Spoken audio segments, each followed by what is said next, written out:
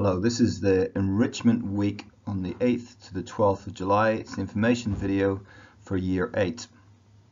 So presently we have some plans for that particular period. Some of our students have already chosen to go on the Spanish trip with the PE department for the whole week, but we have a range of different options which could include whole week activities or particular days within the enrichment week itself, and we need our students to make those choices. So Domestically, there are some trips that we can offer.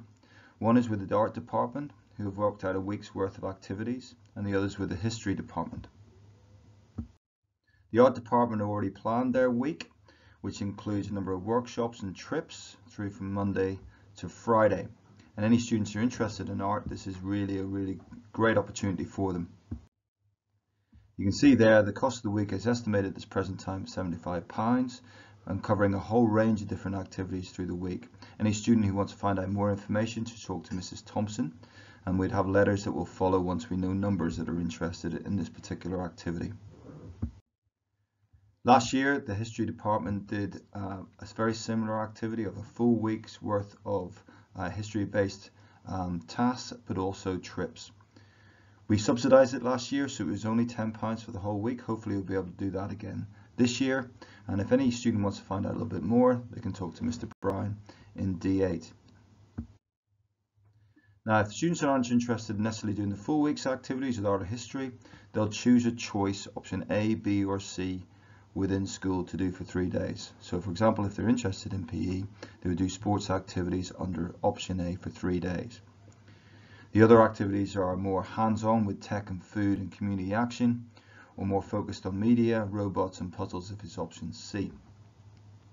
Alongside that, we have two other domestic one-day trips they can choose to do if they wish to. These do have costs, however. The first one is fishing, where um, Mr. Lovin will hire a boat and the fishing equipment for a day, and the students get a great opportunity to go out and sea and catch fish, and it's been superb over the last number of years when we've done this. Now that's approximately £50. It does depend on whether or how many students choose to do that option. The other one is uh, provided by Mr. Richardson, who's allow, he's going to take a certain number of students out each day on a hiking adventure. Um, and if they're interested in doing that, it's roughly about £10, depending on the numbers who are interested in doing it.